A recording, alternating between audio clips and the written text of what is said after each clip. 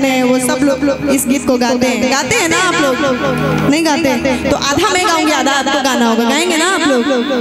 बस ये सोचिए कि आँगन में आपकी कोई बेटी आपसे जिद कर रही है तो आपको गाना होगा। ठीक है? कि बारनी हो जगदम